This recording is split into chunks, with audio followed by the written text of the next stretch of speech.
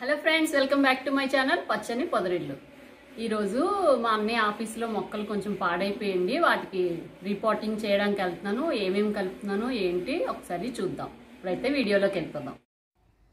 వీడియోలోకి వెళ్ళే ముందు మీరు కనుక మా ఛానల్ని ఫస్ట్ టైం చూస్తున్నట్లయితే వీడియోని లైక్ చేయండి ఇంకా షేర్ చేయండి సబ్స్క్రైబ్ చేసుకొని పక్కనే ఉన్న బెల్ ఐకాన్ని యాక్టివేట్ చేసుకోండి. చూడండి ముందుగా మొక్కల్ని చూపిస్తున్నాను. ఏ విధంగా అయిపోయో నిర్జీవంగా తయారైపోయే మొక్కలన్నీ కూడా ఇప్పుడు వాటన్నిటిని కూడా రీపాట్ చేద్దామని చేస్తున్నామండి. చూడండి ఆకులన్నీ డ్రై అయిపోయి మట్టి బాగా హార్డ్ అయిపోయిందనమాట మొక్కలు వేసి మేము త్రీ ఇయర్స్ అవుతుంది. అందుకే ఇప్పుడు ఇవన్నీ కూడా రిపోర్ట్ చేసుకుందాం అనేసి చూసారా? ఇంకా మొక్కలు కూడా మంచి మంచివి తీసుకొని ఇప్పుడే వేస్తామండి. ఇప్పుడు ఈ మొక్కలన్నీ కూడా తీసేసి మట్టిని మార్చుకుందాము. చూడండి ఈ విధంగా ప్రతి మొక్కని కూడా గోళం నుంచి వేరు చేసి మట్టినంతా కూడా ఎండలోనే ఆరబెట్టాము.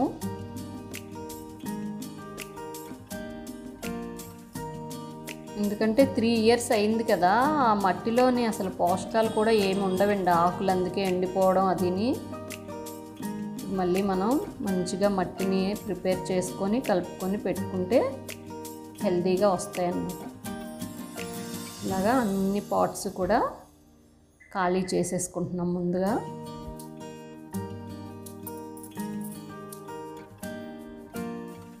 ఈ విధంగా మొక్కలన్నీ ఖాళీ చేస్తాం కదా రూట్స్ని కూడా ఈ విధంగా దగ్గరికి కట్ చేసేసుకుంటున్నాను చూడండి. ఎందుకంటే ఆ రూట్స్ అలా ఉంటే ఇంకా మొక్క అందులో ఎదుగుదల తగ్గిపోతుంది అనమాట మనం ఈ ఎక్స్ట్రా రూట్స్ అన్నీ కూడా కట్ చేసేసి మళ్ళీ పెట్టుకుంటే ఇండోర్ ప్లాంట్సే కాబట్టి చాలా హెల్దీగా వస్తాయండి. మనం అదే రూట్స్తో పెట్టేసాం అనుకోండి వాటికి ఇంకా ప్లేస్ కూడా సరిపోదన్నమాట ఎదగడానికి. అందుకని మనం ఇవన్నీ కూడా కట్ చేసేసుకుని దగ్గరగా ఇంకా లీవ్స్ కూడా ఏవైనా డ్రై అయిపోయి ఉంటే అవన్నీ కూడా కట్ చేసేసి నీట్గా పెట్టుకోవాలన్నమాట ఈ విధంగా.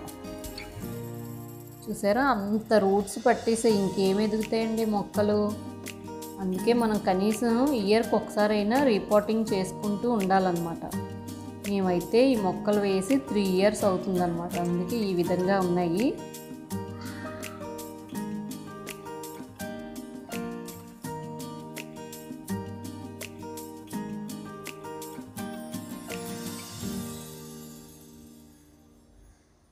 ఇంకా ఆకులు కూడా బాగా డ్రై అయిపోయిన ఉంటే అవన్నీ కూడా తీసేసుకోవాలన్నమాట. కట్ చేసేసుకుంటే మనకి మొక్క నీట్గా వస్తుంది. సరే ఈ విధంగా అన్నీ చేసి పక్కన పెట్టుకోవాలి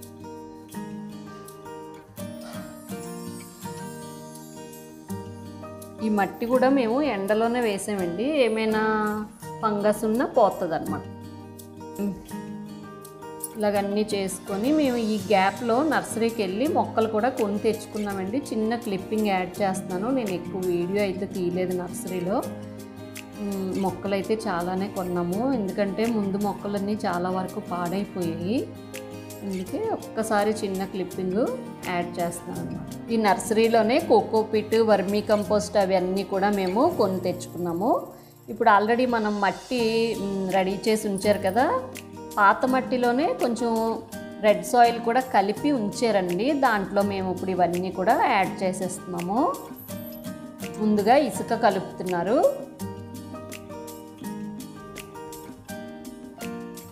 ఇసుక వేయడం వల్ల ఏంటంటే వాటర్ నిలిచి ఉండకుండా డ్రైన్ అయిపోద్ది అనమాట ఇది కోకో పీట్ అండి. మేము బ్రిక్ తెచ్చుకొని అదంతా కొంచెం ప్రాసెస్ కాబట్టి ఇన్స్టెంట్గా కలుపుకోవాలి కాబట్టి లూజే తెచ్చుకున్నాము త్రీ కేజీస్. కోకోపీట్ కలుపుతున్నాము. ఇప్పుడు వర్మి ఎప్సమ్ సాల్ట్ అండి ఇది.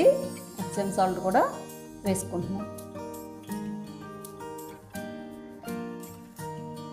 ఇప్పుడు కొంచెం నీమ్ కేక్ పౌడర్ కూడా వేసుకొని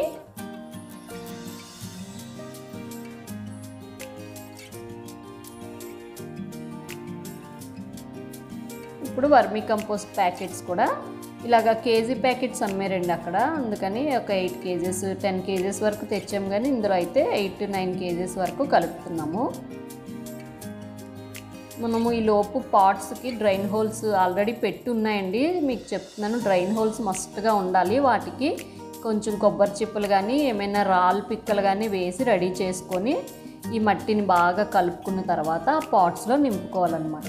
మనం వేసిన మిశ్రమాలన్నీ కలిసేలాగా రెండు మూడు సార్లు మట్టిని కలుపుకోవాలి.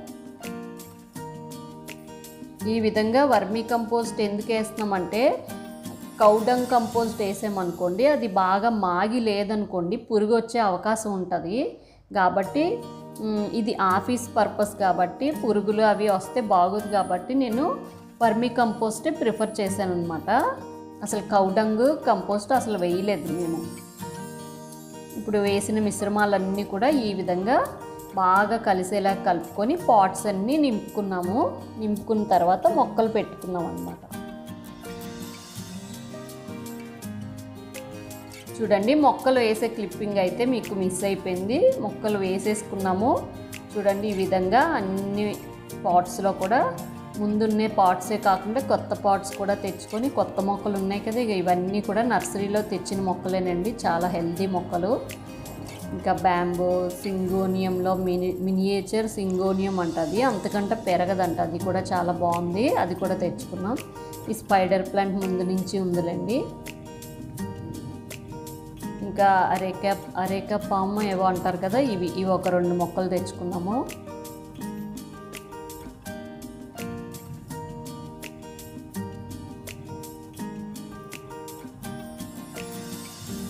ఈ విధంగా షేడ్లో పెట్టుకున్నాం అనమాట వేసుకున్న మొక్కలన్నీ డైరెక్ట్గా ఎండలో పెట్టేయకుండా ఒక టూ డేస్ అయితే ఇక్కడే ఉంచే తర్వాత వాటి వాటి ప్లేసుల్లో సర్దుతారు.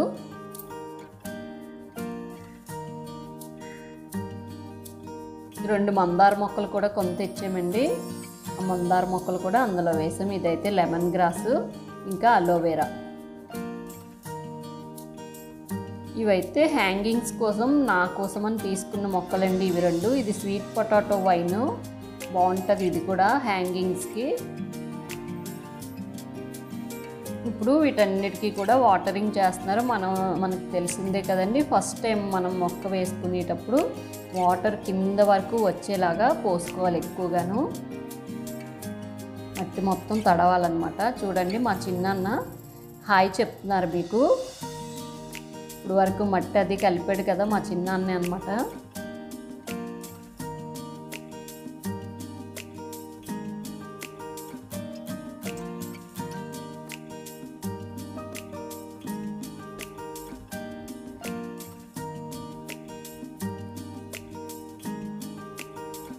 ఆవిడ ఆఫీస్లో వర్క్ చేస్తారు.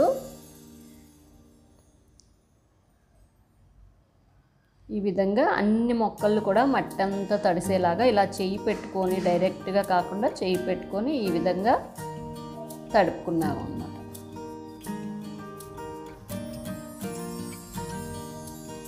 మనం కలుపుకునే మట్టి మిశ్రమం వల్లే మొక్కలు ఎదుగుదల ఉంటుందండి.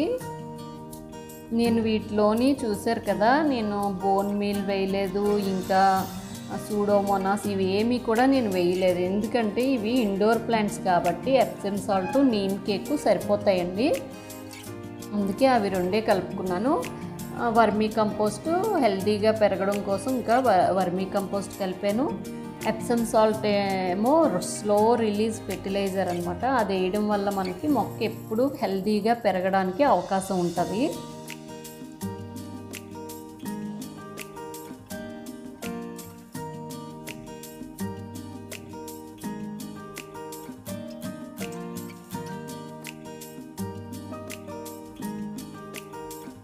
ఇలాగా అన్ని మొక్కలకి వాటరింగ్ చేసుకున్నాము.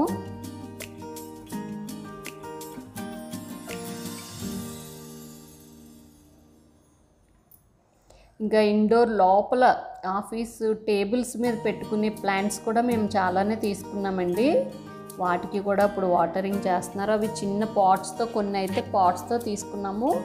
కొన్నేమో పాట్స్ లేవు. వాటికి పాట్స్ పెట్టాను అనమాట ఇదిగో చూసారా? ఇది అరేక పామ్లోనే మినియేచర్ అంట అది. ఇవన్నీ కూడా కొంచెం కాస్ట్ పడ్డాయండి. వీటికి కూడా కొంచెం అలాగా వాటరింగ్ చేస్తున్నారు. ఇవన్నీ టేబుల్స్ మీద పెట్టుకోవడానికి ఇండోర్లో.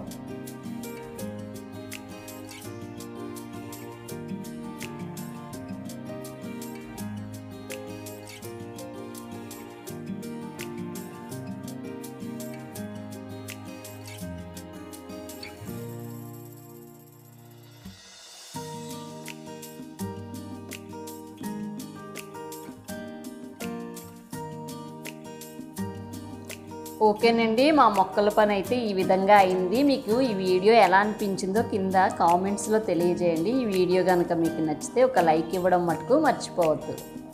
మళ్ళీ నెక్స్ట్ వీడియోలో కలుసుకుందాం.